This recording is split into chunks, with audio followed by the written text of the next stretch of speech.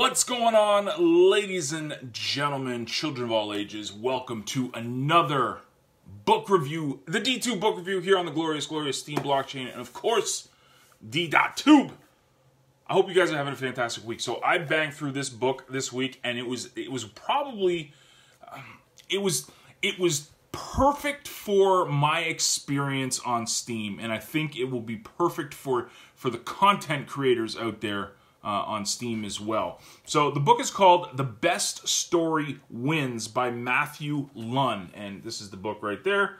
Uh, it's it, it's a, a, very it's a small book. It's only about 130 pages, so that's that's why I got through it pretty quickly. Uh, but um, who is Matthew? He, he's actually a writer and former 20 year Pixar storyteller. So this guy actually uh, drew animation for The Simpsons, uh, but he also worked at Pixar when Pixar was just beginning. And if you know anything about Pixar, you know that they make amazing story-based animation movies. So it was really, really cool. The the the headline, uh, sorry, the the subtitle under the title of the book is "How to Leverage Hollywood Storytelling in Business and Beyond." So what this was was about nine chapters of how to break down a story and how you can use story based messages for business. And I thought it was really, really cool because uh, a lot of the stuff that we do. Uh, here on Steem is content creation. And let's be brutally honest, people don't want to sit there and watch someone who's boring and doesn't really have a story to tell. And I'm not saying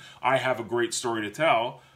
Not really. I'm working on it. That's why I bought this book. Uh, but it, it's it's it's what attracts people. The purple cow, like Seth Godin talks about, like sticking out and how to stick out.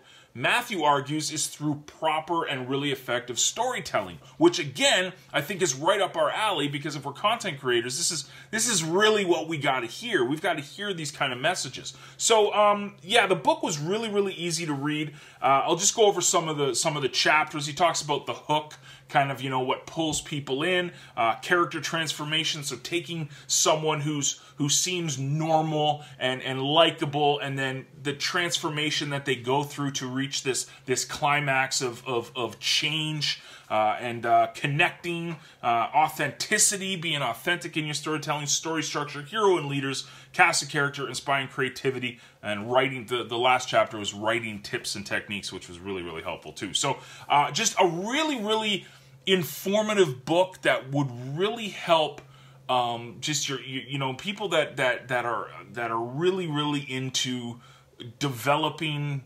content that are really really into um, pro- producing content on a daily basis i think that when we put a story behind it it will really really help this is actually not the only um, story based book or uh, the power of storytelling in business book that i've read uh, i read one last year by uh, donald miller uh, geez, I forget the name of it. It's it was a really, really fantastic book, but it, it was very similar. That showed the the, the ways to take a story from the beginning and take your customer all the way through it. So for me, I do a lot of internet marketing and, and email marketing. So I really was was infatuated with these messages of storytelling because that's that's how I try to take a, a uh, uh, an email. I try to write an email and even blog posts where I'm not the hero of it. The hero has to be your audience. The hero has to be your reader, and that is a, a big part of this book was was focusing on the the audience being the hero and how important it is for us to kind of be the mentor if if that makes any sense.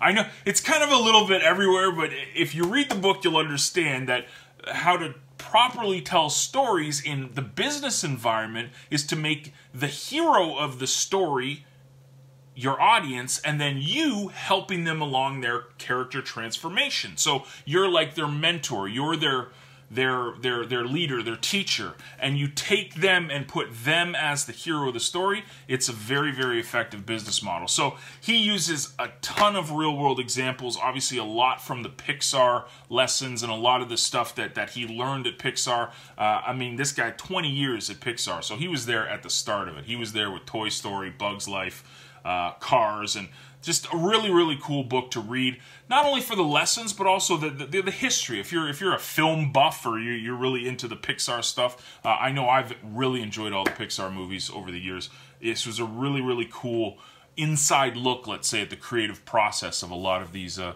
a lot of these writers and, and and storyboard animators. Is that what they're called? I have no idea. I'm just I'm throwing things out like I know anything about Hollywood. I don't.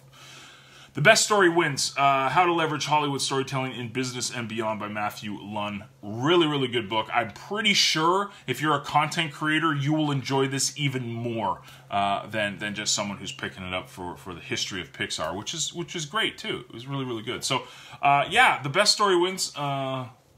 Matthew Luhn, really, really cool book, and definitely something that will help you on your journey of developing content and effective communication with your audience. So definitely pick it up. Hope you guys enjoyed the book review. Have a great, great weekend. Remember, I upvote all comments and I give away SBI units every now and again. So I hope you guys enjoyed the, the video, and I will see you later. Toodles!